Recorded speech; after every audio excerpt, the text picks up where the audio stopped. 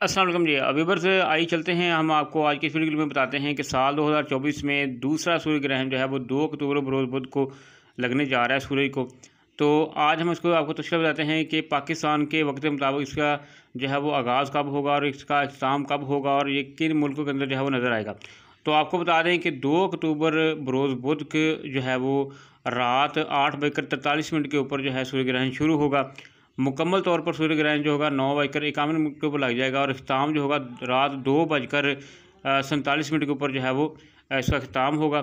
تو سوریہ گرہن جو ہوگا، یہ جن ممالک میں نظر آئے گا، ان میں جنوبی امریکہ ہے، ارجنٹینا ہے، چلی ہے، بحر القاہل ہے، بحر کنوس ہے، شمالی امریکہ ہے۔ کچھ ممالک میں یہ مکمل طور پر نظر آئے گا یعنی مکمل سوریہ گرہن ہوگا اور کچھ میں جزوی نظر آئے گا، جبکہ پاکستان انڈیا وغیرہ میں نظر نہیں آئے گا۔